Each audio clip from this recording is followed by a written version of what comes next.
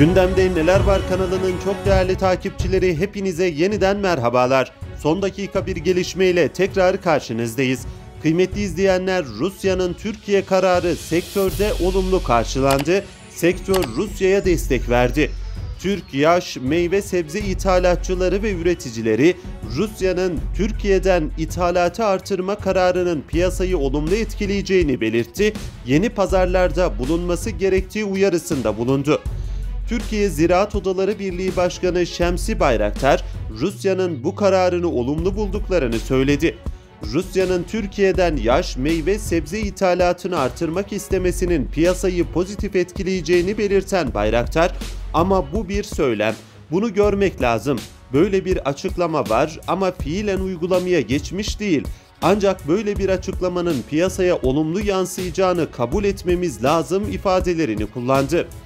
Bayraktar hava yolu nakliye imkanları kullanılarak uzak doğu pazarına ihracat olanaklarının artırılması, alternatif pazarlara muhakkak ulaşılması gerektiğini ifade etti. Rusya'nın çok hızlı şekilde tarım ve seracılık faaliyetlerini geliştirdiğini ve üretimini artırdığını dile getiren Bayraktar şu değerlendirmeleri yaptı. Dolayısıyla gelecek yıllarda bizden yaş meyve sebze ithalatı yapmayabilir. Onun için biz şimdiden bunu öngörerek projeksiyonlarımızı buna göre yapmalıyız. İhracata dayalı bir üretim modelimiz var. İhracat kesilirse üretim düşecektir. Üretimi sürdürülebilir kılmanın yolu sektörde yani pazarlar bulmaktan geçiyor. Bunun da tedbirini şimdiden almamız lazım dedi.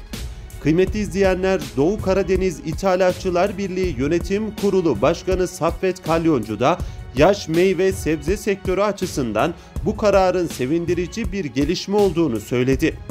Türkiye'nin Rusya'ya en düzenli ve istikrarlı ürün tedarik eden ülke olması sebebiyle Rusya'dan böyle bir karar çıkmasını beklediklerini belirten Kalyoncu, mevcut ortamda en öncelikli beklentimiz iki ülke arasında yaşamakta olan çatışmanın daha fazla can kayıpları olmadan son bulması.